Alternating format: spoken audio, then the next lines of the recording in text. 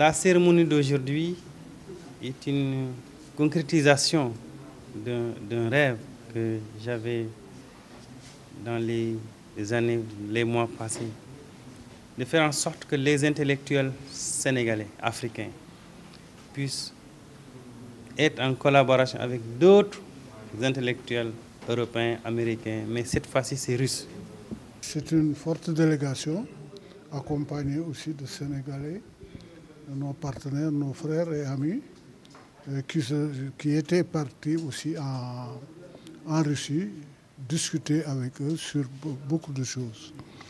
Et là, nous, avons reçu la délégation dans le cadre de cet échange, surtout de coopération, que nous nous coopérons avec beaucoup de pays.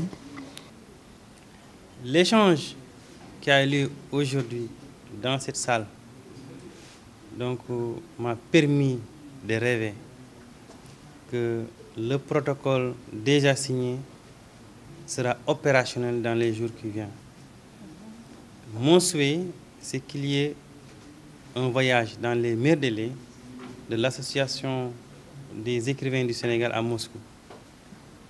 On n'est plus dans le temps de la théorie, mais on est dans le temps de l'action. Vous savez que notre continent africain, particulièrement le Sénégal, regorge d'énormes ressources, tant naturelles, minières, ressources humaines, mais aussi des ressources intangibles qui a fait l'objet de cette rencontre aujourd'hui. Donc la culture est une ressource intangible.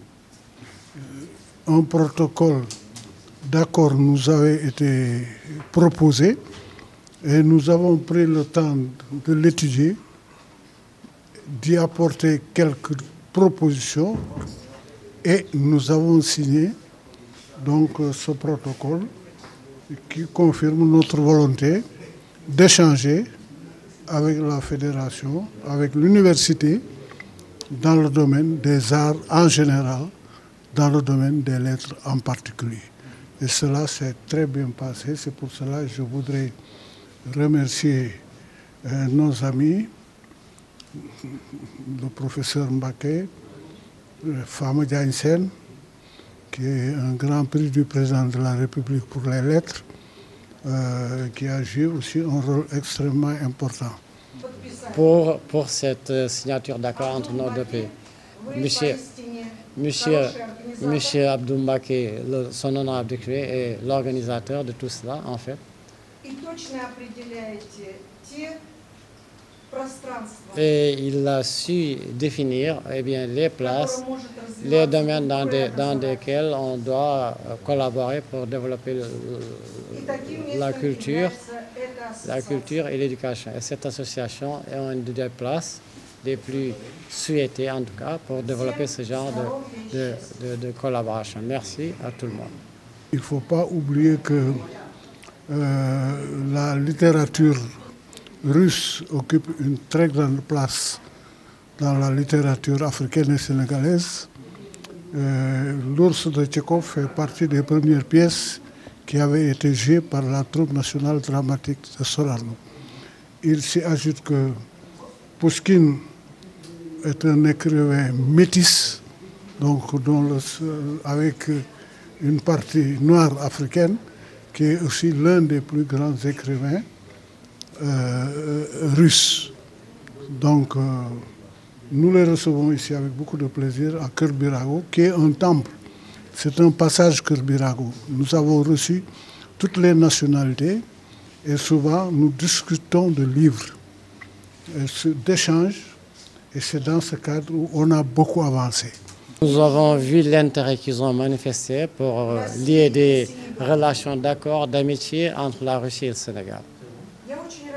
Je suis très heureuse que je suis un des, petits-filles de Pushkin,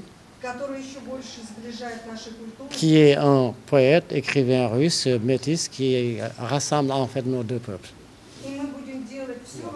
Et nous ferons tout ce qui est en notre pouvoir à l'université pour que, pour que la culture et les traditions sénégalaises soient mieux connues par les, Russes et nos étudiants en général et le peuple russe. Et nous ferons de notre mieux pour amener ici ce qu'on a le plus important, le plus utile de, notre, euh, de notre euh, expérience qu'on va partager avec les Sénégalais. Nous venons ici avec euh, beaucoup, de positifs, d'espoir de, de, et nous pensons que nos relations seront très productives. La culture est un levier de rapprochement des peuples, c'est un levier de développement. Donc je crois que le raccourci pour qu'il y ait un monde beaucoup plus solidaire, donc le raccourci c'est la culture.